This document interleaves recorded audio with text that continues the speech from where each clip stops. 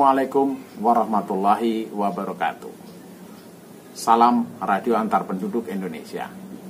Halo, jumpa kembali bersama Santosa, Juliet Zulu, sebelah Sera Alfa Alfa melalui Rapi Media, media berbagi tentang Radio Antar Penduduk Indonesia. Kali ini saya akan berbagi tentang peraturan organisasi penyempurnaan hasil Rakernas ke-8 tahun 2022. Namun sebelum dilanjutkan, jangan lupa untuk subscribe, like, komen, serta klik tombol notifikasinya. Pada tanggal 25 sampai dengan 27 Maret tahun 2022 telah diselenggarakan rapat kerja nasional ke-8 tahun 2022 di Balai Besar Pendidikan dan Pelatihan Kesejahteraan Sosial BBPPKS Lembang, Bandung, Jawa Barat.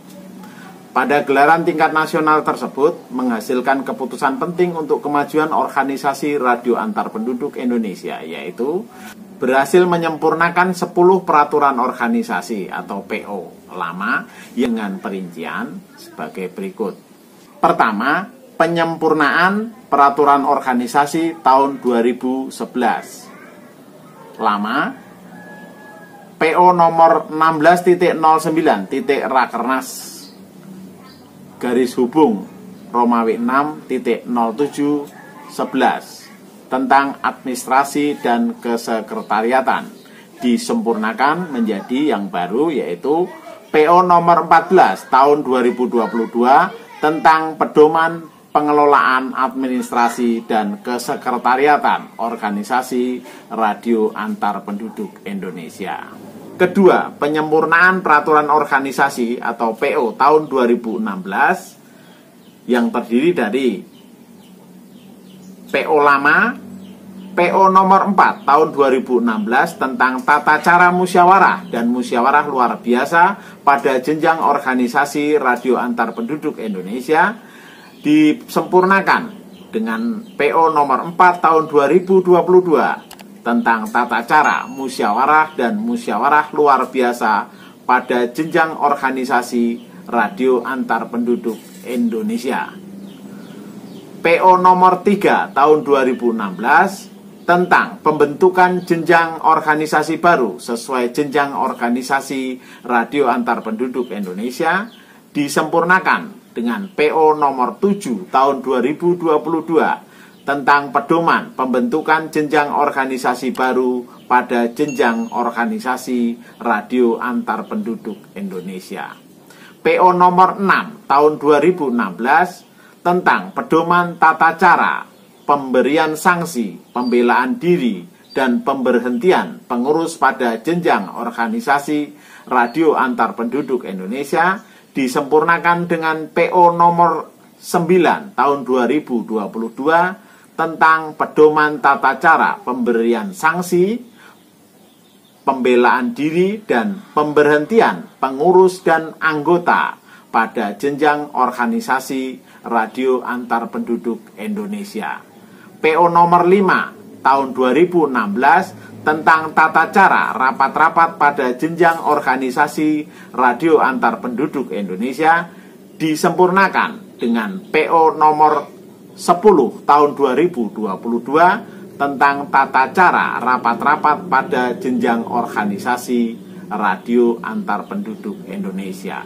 PO nomor 7 tahun 2016 ten tentang tanda kehormatan, tanda kecakapan, dan tanda jabatan pada organisasi radio antar penduduk Indonesia disempurnakan dengan PO nomor 11 tahun 2022 tentang tanda kehormatan, tanda kecakapan, dan tanda jabatan pada organisasi radio antar penduduk Indonesia.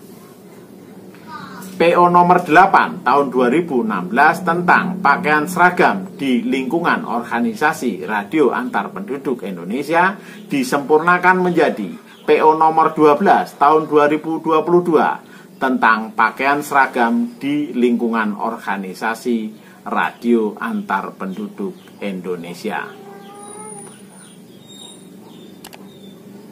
Ketiga, penyempurnaan peraturan organisasi atau PO tahun 2018 yaitu yang lama PO nomor 1 tahun 2018 tentang perubahan peraturan organisasi nomor 1 tahun 2016 tentang pedoman penyelenggaraan pembinaan, bimbingan organisasi, bimbingan teknis dan pelatihan disempurnakan menjadi PO nomor 1 tahun 2022 tentang pedoman pembinaan, bimbingan organisasi, bimbingan teknis dan pelatihan.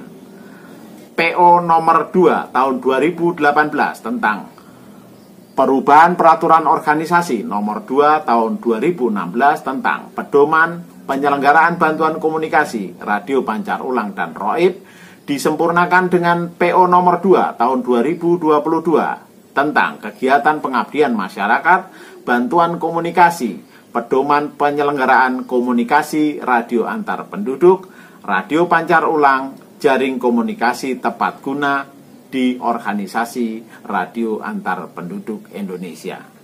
PO nomor 3 tahun 2018 tentang pedoman penyelenggaraan satuan tugas radio antar penduduk Indonesia sesuai jenjang organisasi radio antar penduduk Indonesia disempurnakan dengan PO nomor 13 tahun 2022 tentang pedoman penyelenggaraan satuan tugas radio antar penduduk Indonesia sesuai jenjang organisasi Radio Antar Penduduk Indonesia.